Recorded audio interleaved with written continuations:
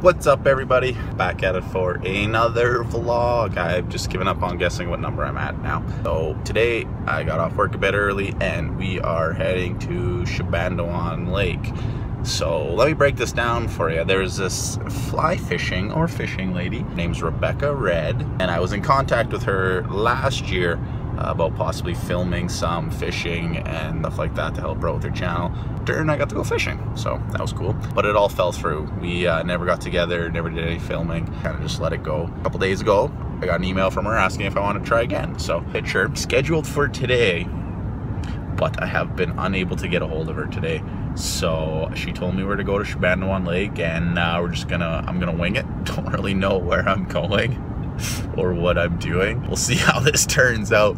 It's about an hour drive from Atikokan, so at the end of the day, if, uh, if I can't find her, doesn't work out or whatever, it's only an hour back home, so not too not too big of a deal. But uh, no adventure started with I'm, st I'm staying at home and sitting on the couch. So I guess uh, worst case, I get there, don't know where I'm going, can't find the place, can't find her, can't get a hold of her, and I turn around, come home, have dinner, and that's my night. Uh, I got a lot of editing to do, so wouldn't be terribly mad at it if I had to. Uh, about halfway there right now. Um, more I think about it, not too getting not too confident, not too confident in this working out, but uh, adventures, man, adventures are where it's at.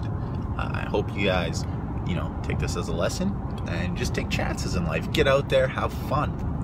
Don't sit around at home and take the no risk. Really, what is the worst that happens? I just go home, right? Not a big deal. But what's the best thing that could happen is I have a freaking awesome time fishing, get some sick drone footage, and you know, it's just a great time. So to me, it's worth the risk. Let's see what happens. So everything worked out. We made it out here live. Uh, turned out that Rebekka was actually at the camp. Uh, she didn't abandon me.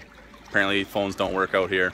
Uh, so we're out at Shebandowan, the boat in the water, and we are working our way towards where we're gonna fish, do some more shooting. Uh, we did a bunch of shooting at the dock and uh, just trying to make a cool little video. So we'll see what happens.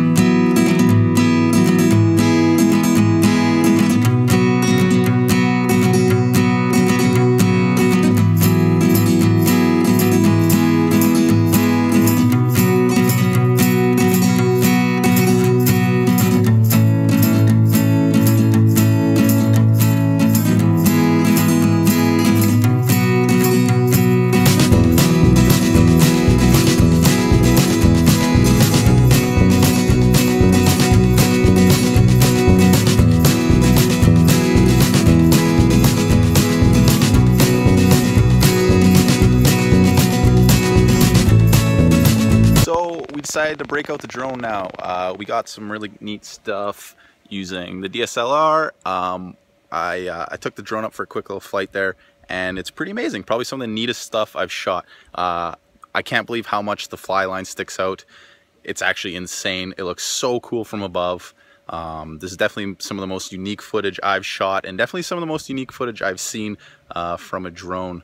Uh, it's, it's, it's, it's crazy. It's good stuff.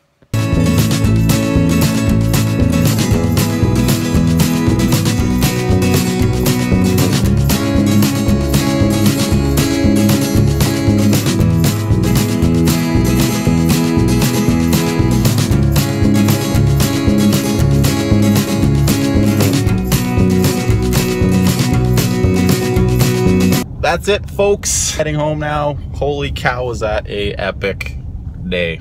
Epic maybe not. Epic's a little bit i hate using that word too much but what a friggin awesome day that was. Rebekka is totally cool. Uh, really glad uh, got to get together with her. Um, she's definitely an unreal fisher woman. Watching her fish is uh, is like poetic. It's pretty crazy. She's good shit. Got the drone up chased the boat home. The drone that was really cool and got a lot of really neat footage of her fly fishing. Shot a lot of good stuff, I hope, I think, on the DSLR that uh, I'm gonna whip together a little Instagram kind of video for her. But as always, thanks for watching. Uh, remember, get out there, get flying, and have fun. Take care, guys.